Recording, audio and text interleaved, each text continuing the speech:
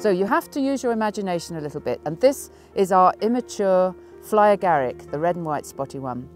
Now, when it's very, very small, it's completely enclosed in a white membranous veil, which we call a universal veil. Starts right at the bottom of the stem, right over the top.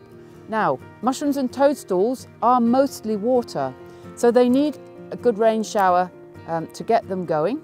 And we'll give this one a shower of rain. Now the water would normally come in through the soil, from the soil rather than from above, but just for the purposes of this demonstration. Watch what happens to the veil as the mushroom grows.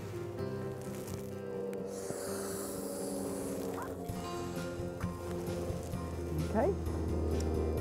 You've got spots on the cap and structures at the bottom of the stipe. And that's what you see in the real world. And that's how the mushroom gets its spots.